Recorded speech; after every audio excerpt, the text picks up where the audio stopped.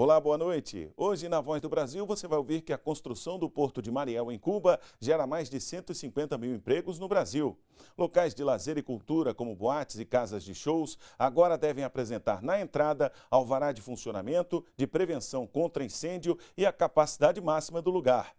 E ainda, saiu a segunda chamada do SISU. Os convocados devem fazer matrícula entre 31 de janeiro e 4 de fevereiro. Estas e outras notícias daqui a pouco, às 7 da noite, na Voz do Brasil, em todas as emissoras de rádio do país. Até lá!